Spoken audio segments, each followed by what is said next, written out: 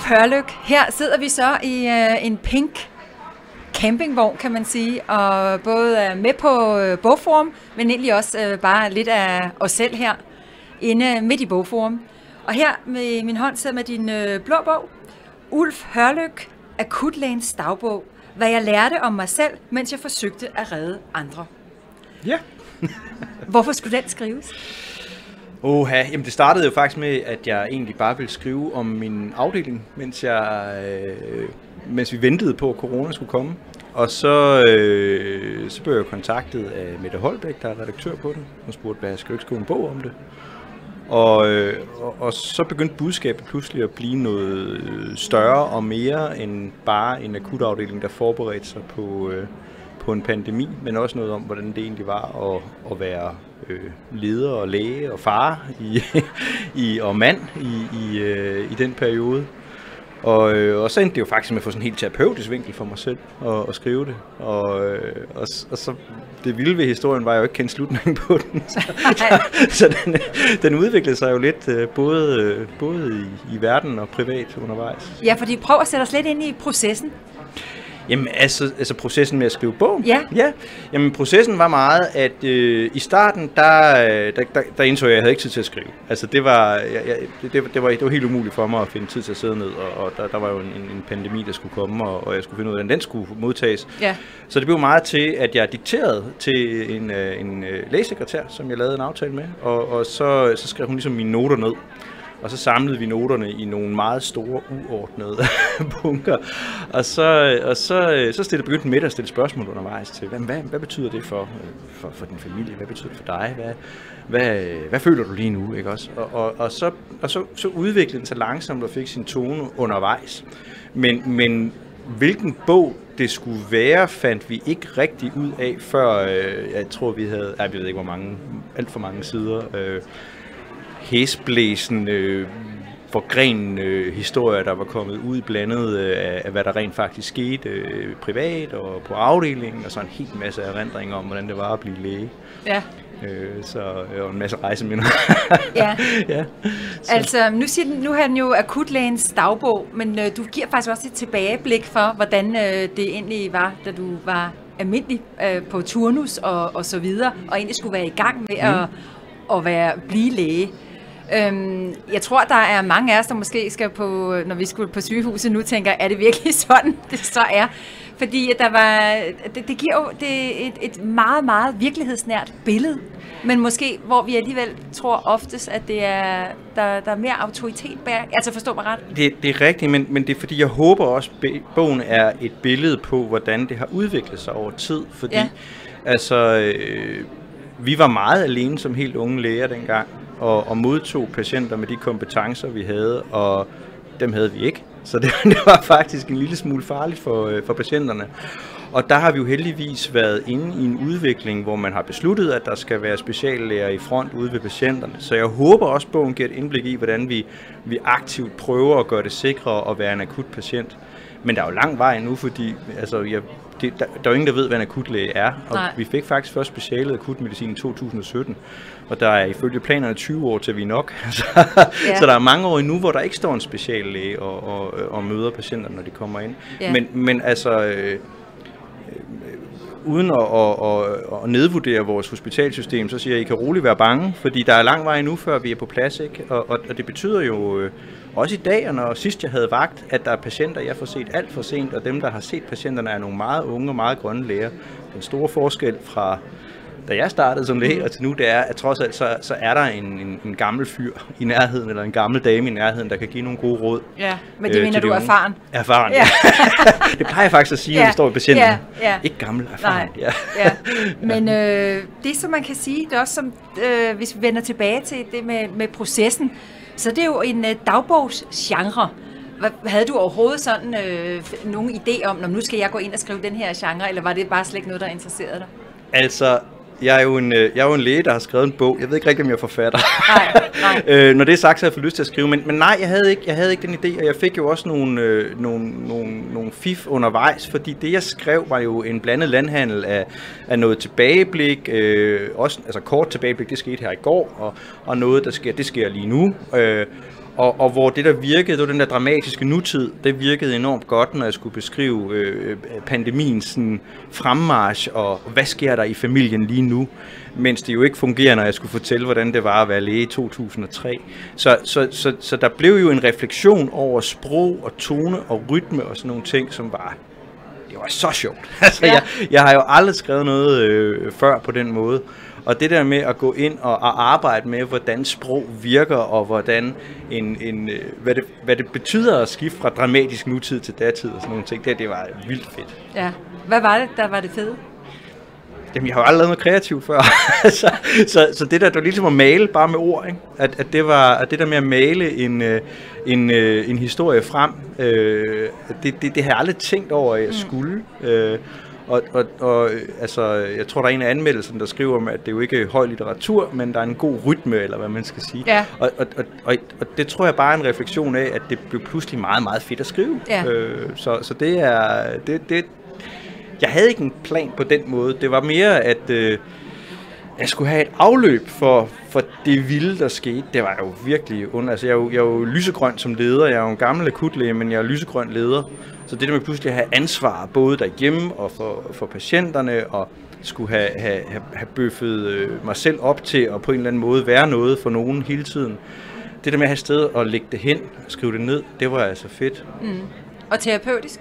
Absolut, helt sikkert. Ikke? Altså, der var øh, øh, også, også i processen efterfølgende. Altså, jeg tror, jeg, jeg tror, jeg blev meget egoistisk i starten og tænkte på mig selv og hvor vigtig jeg var. Ikke? Også, og det der med at se, hvordan specielt Sara, min kone, hun, hun virkelig altså løftede øh, et, et læs og, øh, og stod på mål og holdt sig tilbage og så videre. Det, det, der, der tror jeg, at det at skrive bogen, det var, det, det, det var sådan virkelig en aha-oplevelse for mig, mm.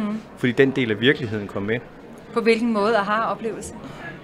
Jamen, altså jeg, det, det var jo en lang periode, hvor jeg tænkte, jeg skal, jeg skal redde Horsens overmegn.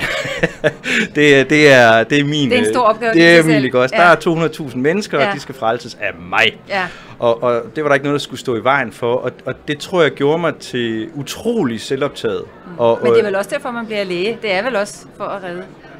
Det er det, men, men det er... Øh, det, det skal jo helst ikke gå, man skal jo helst ikke blive sådan semigud, eller så optaget af sig selv, at Nej. man synes, der er alle andre er mindre øh, vigtige. Ikke? Altså, der er jo også en, en del, der hedder at være et helt menneske. Mm. Og det øh, hele menneske, det var... Øh, altså, en gang man kan det jo... Altså, i, i, den, i, i den turbulente tid, der var det jo svært for mig at se, at jeg ikke var helt, fordi at jeg ikke var lige så god derhjemme, som jeg ja. var på arbejde.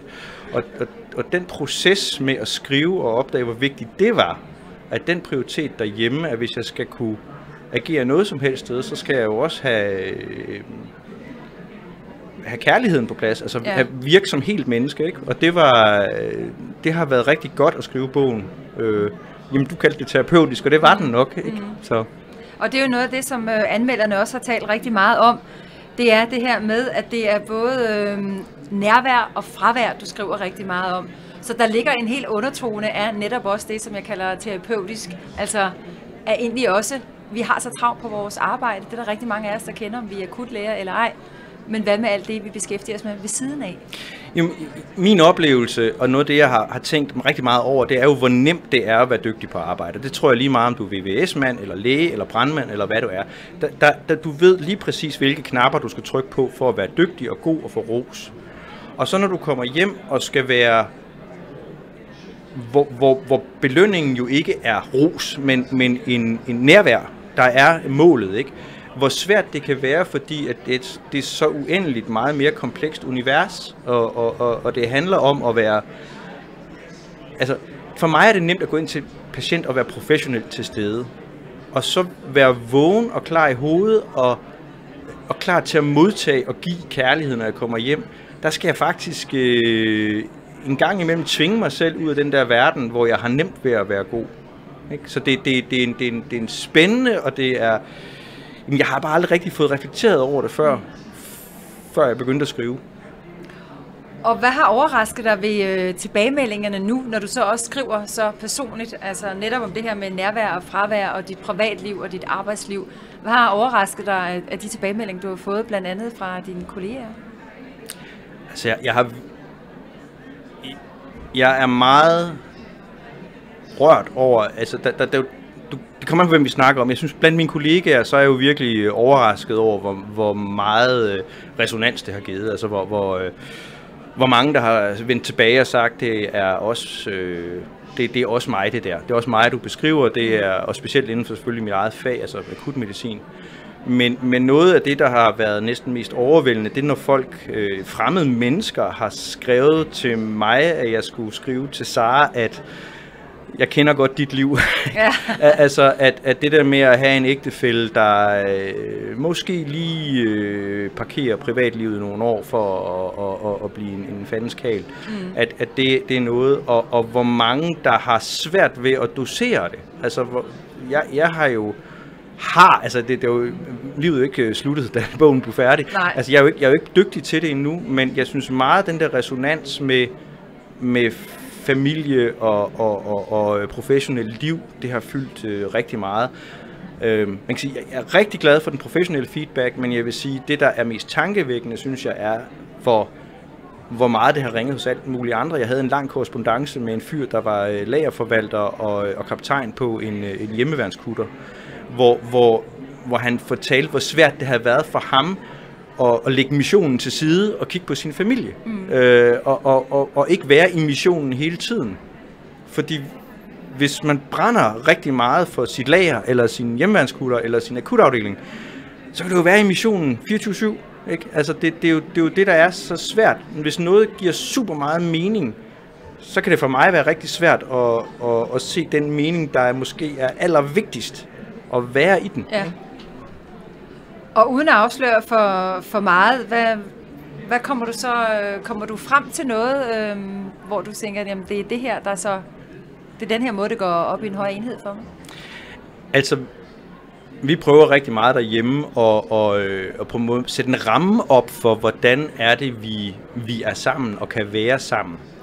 Øh, og, og det er jo sådan noget trial and error, hvad lykkes og ja. hvad lykkes ikke. Men, men det er, det, det, det, jeg kan ikke, vil jeg aldrig kunne skrive en livsstilsbog, fordi det holder, det holder jo ikke hele vejen. Der er jo hele tiden den der med, hvor træt jeg er. Og, altså, jeg, jeg kan jo gå på arbejde og være, komme hjem og være, simpelthen være omsorgstræt. Altså, ja. have, have, have, og, og, og det der med så at være til stede og være der. Mm. Komme hjem og kunne holde om min kone og, og, og, og, og lege med børnene, uden at egentlig bare smide mig på sofaen og, og, og binge-watch ikke eller andet på, på, på, på, på Netflix. Ikke? Ja, ja. Altså, så, så man kan sige, det, det vi har været meget opmærksom på, det er at prøve at, at være opmærksom. Ja. Det, vi har jo ikke løst problemerne. Det er jo ikke en, en happy ending på den måde. Det er, en, det, er en, det, er en, det er en ending et sted i livet, hvor vi måske bare er et sted, hvor vi kan træde nogle forsigtige skridt i retning af et mere nærværende liv, hvor jeg, har jo, jeg er jo akutlæge, jeg er jo leder af en akutafdeling, jeg, ja. jeg elsker at passe patienter, jeg elsker at at være der øh, sammen med mine kollegaer på akutafdelingen, det er også mig. Ja. Men den vigtigste mig, det er, øh, det er den mig, der kan være derhjemme. Mm. Og hvor jeg tidligere har været helt sikker på, at jeg skulle gøre et eller andet ekstremt sammen med familien, sejle til Canada i en kano, og så var det der, vi kunne hente vores energi. Så prøver jeg nu at være bevidst om, øh, som min kone siger, en gang man skal bare sidde i vinduet og, og, ja. og, og, og drikke en kop kaffe og snakke, ikke også? Øh, prøv nu lige at være her, ikke også? Hvor jeg også prøver selv at gøre det, men mm. det, altså, det er svært at lære en gammel hund nye tricks, og jeg har virkelig øvet mig i mange år på at være, være, være en eller anden karriereræsende øh, fyr, og, og, og det der med at, at komme tilbage og være fuldstændig nærværende, det er enormt givende, mm. men det er også en disciplin, som, som jeg skal sørge for at blive stærk i, for det er nødvendigt. Ja. Ikke? Og ikke kun kan indhentes øh, på ferierne. Ikke kun kan indhentes, og, og, og det, det er jo nok der, jeg altid ligesom har sagt, ah, nu er det nu skal vi lige holde til, til efterårsferien, så ja. kan vi ikke også. Nu skal ja. vi holde, og det der med, at, at, at det bliver til sådan, sådan en redningsplanke, vi skal lige nå at svømme frem til, for lige at få luft nok til at svømme det næste stykke, det er jo, det er jo meget mere prøver vi på nu mm. at sige, jamen vi skal prøve på at lave en hverdag, hvor vi er til stede nok, og vi er, vi er jo slet ikke i mål med det, men vi Nej. prøver. Ja. Øh, noget af det, som, øh, som vi også øh, har, jeg har lagt mærke til det der med, ja, som vi sidder og taler om nu, at der bliver skrevet rigtig meget om det, og som jo er overraskende, at det kommer fra en akutlæge, det er, at bogen er ikke kun for akutlæger, men også for kolleger fra andre specialer, og politikere, står der, kunne hjælpe mig også, der vil have større indsigt i akutlivet og dets udfordringer. Så der er også en undertone af noget opråb her. Jamen det er der. Altså, øh, jeg tror, jeg skriver på et tidspunkt i bogen, at hvis jeg siger hjertelæge, så har alle, alle en forestilling om, hvad det er. Hvis jeg siger akutlæge, så tænker man folk på en helikopter eller en bil. Mm. Og man kan sige, at vi, de akutte patienter i Danmark, øh, det er jo en, en, en meget kortvarig gruppe. Ikke? Det, det, det er jo nogle folk, folk er jo ikke akutte patienter i lang tid. Det vil sige, der findes ikke en, en patientforening for akutte patienter. Hvem skulle melde sig ind i den? Mm. Men faktum er, at de fleste af os vil jo blive akutte patienter en dag. Og rammerne for, for det og det at forvente at få en god modtagelse, specielt i en, en verden, hvor ressourcerne bare er blevet mindre, at, at, at det er øh, det, skulle, det er altså nogle tanker værd, fordi vi alene i min lille region, Region Midtjylland, der ser vi over 200.000 akutte patienter om året. Og så sent som i dag har jeg snakket med politikere, det er jo snart regionsrådsvalg, ja. men, men, men bevidstheden om, hvad fortjener de af faglighed, det, det er, det, det, det tror jeg er relevant for alle læger og sygeplejersker. Men så er der også det aspekt, der hedder, der er ikke så meget litteratur, der fortæller om, hvordan det er at, at være i det. Man kan mm. godt læse om, hvordan man behandler forskellige sygdomme, men det der med at fortælle om, hvordan det føles ja. at stå og med mennesker og skulle øh, drage omsorg om dem, og, og blive ved med at være menneske i det. Altså når, når, når, når du skal fortælle øh, koner, kærester, børn, elsker og elsker inder, jamen nu skal du høre, øh, der er en, der dør lige om lidt. Mm. Øh, hvordan føles det at være ja. den, der, der, der, der er der, når man har taget sin, sin, sit blå tøj af og sin, øh, sine korperbukser på og er på vej hjem i mm. bilen? Og det tror jeg resonerer ved rigtig mange, så jeg tror, at, at den forståelse, noget af det, som noget af det, vi snakker meget om, det vil vi jo gerne forstå de mennesker, der kommer. Det er jo ikke det er jo patienter, det er jo mennesker, det er mennesker der har familier, og, ja. og, og vi skal prøve at møde dem på en god og ordentlig måde. Men, men de mennesker bliver også mødt af mennesker. Vi kommer jo også med ind til vores patienter med, med en ballast. Mm. Vi kan have haft en... Øh, et skænderi derhjemme, eller vi kan øh, bare have en dårlig dag, og så skal vi øh, være oppe og være vågne på, på, spe, ja. på, på tåspidserne. Ikke?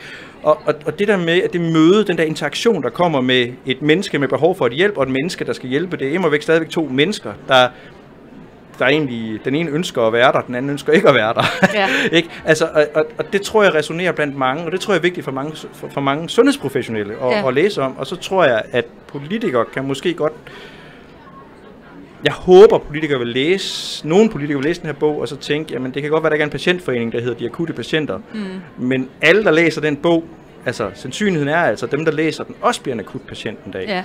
Det er ligegyldigt, om du brækker en arm, eller du kommer bevidstløs ind, så, så, så er du stadigvæk en akut patient, og så står vi der. Ja. Og, og, og, og der synes jeg jo, at, at du og alle dem derude, de skulle sætte krav til, hvad, hvad er det, hvem er det, der møder os? Hvem ja. er det, der, der tager der drager den der akutte omsorg. Ikke? Fordi hvis det skal være, som det var i 2003, at der står en halvstuderet røver og klør sig i nakken, og, og så finder et eller andet opslagsværk lynhurtigt, så tror jeg ikke, man er tilfreds eller tryg. Nej. Men hvis det er en, der er trænet i det, og du kommer ind i et maskineri, hvor man er er der og trænet mm. i omsorg, akut ja. omsorg, så tror jeg noget helt andet. Og den slags krav, dem, dem hører vi ikke ret meget om. Vi Nej. hører en masse om, om, om kraft, og heldigvis for det. Hjertesygdom, heldigvis for det. Mm. Men den der diffuse, akutte patient, som emmer væk er størstedelen af ja. produktionen på et gennemsnitligt akuthospital hver dag, dem hører vi ikke rigtig om. For du kommer akut patient, og så er du videre. Ikke? Og netop også i øh, en øh, corona- og tid altså, og man kan jo også sige, at vi fik noget af en forskrækkelse, at alt ligesom kan, kan ske. Der er det også vigtigt, at vi råber politikerne op. Det er super vigtigt, altså fordi det, det, det at, at vi pludselig stod, øhm, og egentlig, altså, vi nåede jo ikke til et norditaliensk scenarie, men når du er ude og snakke med de forskellige derude, så har du stået nogle svære valg en gang imellem, hvor vi har manglet god behandling, og ja. ikke har kunne give den gode behandling, eller har trukket den gode behandling, ikke? Så det jo, godt, og sådan har det reelt været. Sådan har det reelt været, ja. ikke? Og, og der er, nu, nu handler min bog jo mest om første bølge, men i anden ja. bølge, der var der jo der var jo virkelig nogle svære beslutninger, der blev taget. Ja. Og, og, og, og, og gud skal takke lov for, at det ikke gik vildere, men, men og, jeg, jeg tror, vi er blevet mere bevidste om, hvor skrøbeligt det her samfund egentlig er. Og det, som folk ikke ved, i min optik, det er, at vi var i en meget bedre situation under corona, end vi er lige nu. Mens vi sidder her lige nu, mm. så har vi, og vi er ikke unikke, der har vi haft de syv travleste måneder nogensinde forud for det her. Hen Ja. over en sommer, hvor vi forventede, at alting ville drosle ned, der har vi simpelthen været i situationer, hvor vi føler, at vi ikke har givet den behandling, vi skulle, fordi det hele er gået amok. Vi har Ja. haft 16-20 procent mere at lave, det er svært, fordi der er ikke en fælles fjende. Vi kan Ja. ikke trykke på en knap, der hedder corona. Nu er det bare diffust travlt. Hvordan får vi fortalt befolkningen derude, det her det er også en krise. Ja. Og for, Det er der ikke særlig meget opmærksomhed det er der omkring. ikke, og jeg synes, vi er en større krise nu, end vi var i, i, øh, i ja, selv i anden bølge. Hvor- Hvordan det, prøv at sætte et par ord på, på det her, ikke, ikke så langt, øh, fordi det er jo ikke lige helt det, det handler om, men bare, det, man bliver jo nysgerrig, når du siger sådan. Jeg oplever lige nu, at der er større kamp om for eksempel intensivpladser, end der var under corona. Der var vi klar, vi vidste, vi skulle bruge mange intensivpladser. Nu er det ikke corona længere. Vi er faktisk engang med svært ved at få folk på intensiv. Jeg kan stå en hel nat og prøve at holde blodtrykket på, på en patient, øh, som, som ligger lige på kanten til at dø, hvis jeg ikke lige får trykket nogle millimeter op. Og det har jeg altså aldrig prøvet før. I hele min karriere i, i, i sundhedsvæsenet har jeg ikke stået i de svære, svære situationer, hvor vi simpelthen mangler ressourcer til det allermest basale en gang imellem. Mm. Vi klarer den, og patienterne 7 13 dør ikke mere, end de gjorde før i tiden, men jeg oplever, mit personale oplever, at vi står i noget, der er langt vildere, end vi gjorde på noget tidspunkt under corona. Det er godt, at, at, at, du er her i hvert fald til at sætte ord på det, og at du giver os et øh, helt unikt indblik i øh, akut læger, og som også øh, perspektiverer det til, vor, til vores andres liv, om både hvordan man øh, har det øh, i forhold til nærvær og fravær i et, et menneske og et, et arbejdsliv og et, et privatliv. Men lige for at, at runde af her, så ved jeg, at du har været øh, rigtig glad for, at øh, Nikolaj, altså skuespilleren Nikolaj Kopernikus, har indtalt simpelthen øh, din Ja, bog. det får jo nogle super lydbog. roser. ja. Var Hvordan nogle super det? roser. Jamen, for det første var jeg jo voldsomt starstruck, da jeg at vide, at han skulle, han skulle indtale den, ikke? Jo. Altså, det, det var... øh, Det, Du var vel godt klar over, at det var en mand, der skulle vælges, ikke? Ja, det regnede Ja, jeg. Det, ja. jeg, jeg, jeg, jeg har jo aldrig skrevet en bog før, så Nej. det havde jeg ikke tænkt Ja. over. Men da de sagde, Men mandlig oplæser. Ja, jeg, jeg, blev lidt, øh, jeg blev lidt, øh, jeg blev faktisk lidt starstruck. Og det var, det var lidt en sjov historie, fordi faktisk var der en gang for mange år siden, jeg var i Masser Monopolet, hvor, hvor, øh, hvor Nikolaj gav mig øh, ægteskabsrådgivning, og det ved han ikke engang. At du ringede simpelthen ind. der var nogle valg, Ja. vi skulle tage den gang. Ja. Ej, jeg, jeg, jeg, jeg synes, det var... Øh, der, der var jeg, tænkte jeg, hold da op. Ja. øh, så, så, men- men han, øh, han får jo kæmpe roser for sin, øh, sin indlæsning, og det, det kommer både... Øh, jeg kan jo læse det på, på tilbagemeldingerne på Mofibo, men altså også mennesker, der møder mig på hospitalet og, og siger, nu har de hørt, og det er godt nok godt. Ja. Så det, øh, Hvordan foregår det? Uh, taler I sammen, eller er der noget? Hvordan, hvordan foregår sådan noget? Jamen altså, det kan være, når jeg står i køen til kantinen. Ja. altså. Så der er jo, øh, at nogle, de, der, er jo rigtig mange i sundhedsvæsenet, der har, der har hørt eller læst den. Der er mange flere, der har hørt den jo, end der har læst den. Ja. Øhm, så det, det, det, er, øh, det er ret specielt. Mm. Jamen, jeg mener også, at, hvordan foregår det i forhold til, at Nikolaj, taler han så med dig, eller har han ringet til dig omkring bogen, eller Nej, noget som helst? nej, han har altså taget den frisk, Ja. øh, og så havde, øh, så på et eller andet tidspunkt, så, øh, så læste han noget om, fordi der var et eller andet, øh, han mente skulle laves anderledes. Men jeg, jeg har været meget lidt ind over den del. Ja. Så, så det er... øh, Altså, jeg må også sige, at jeg blev lidt... Øh, det, han ved nok, hvad han laver. det var Ja. Nikolaj Kopernikus. Ja. Så, så det var, Har du lyttet til den hele igen? Med Det ham? har jeg. Ja. Og der må jeg sige, at jeg kan jo godt høre, at han er god, men, men det er jo... Altså, det er jo meget svært at høre en anden mand erklære sin kærlighed til min kone. Der er det alligevel, ja. så, Ja. så det... Der vil du alligevel sige, ah, Ja, hvad, hvad en gang i? Nej, nej Ja. ja. det, det, er, øh, det, det, øh, det er det, men det er jo, jeg har også prøvet at læse min bog igen, men det, det er jo, øh, altså det er jo så svært, for der finder, jeg finder jo hele tiden et eller andet, jeg tænker, jeg kunne lave så om. ja. Men i dit meget travle liv her, liv her til sidst, hvordan får du tid til alt det her? Nu har du både læst den igennem, du har hørt den igennem, du skriver, du er akutlæge, du er familiefar, alt andet. Det er, ikke. det er ikke noget, jeg, det er ikke sådan noget, jeg planlægger. Det er, det er hullerne ind imellem, Ja, hvor det er. Og så er det jo meget op og ned. Nogle gange så er jeg jo bare for træt til at lave noget som helst spændende. ja. Så Og hvordan lader du så op, fordi du virker som om, du har super, super energi til alt det her? Jamen altså, øh, for eksempel var jeg lige på Færøerne med min, øh, min datter i, øh, i efterårsferien, hvor vi var ude i stormvejr og store bølger, og øh, det var dejligt, og så har vi lige haft en weekend i København, hele familien, hvor vi har gået gaderne tynde, og, og det, øh, jeg lader jo op sammen med dem, mm. øhm, så det er jo det, det, det er mit forsøg på at få, få energi tilbage. Men Og lige nu er du på Bogforum, hvor ja. din familie, din datter, søn og kone, som også er beskrevet i, i bogen, de står her udenfor og venter på, at far kommer ud. Og der har også været nogle øh, af din familie her, der har været ganske starstruck, så øh, måske skal vi bare sige tak for nu, så I kan komme ind og møde, eller ud og møde endnu flere spændende forfattere ja. der her. I hvert fald tak for, at du var med her. Jamen, tusind tak. Det var Campingvogn. spændende. Og super tak for et rigtig, rigtig vigtigt og indsigtsfuldt indblik i dit liv. ja, tak skal du have. Det er godt. Hej.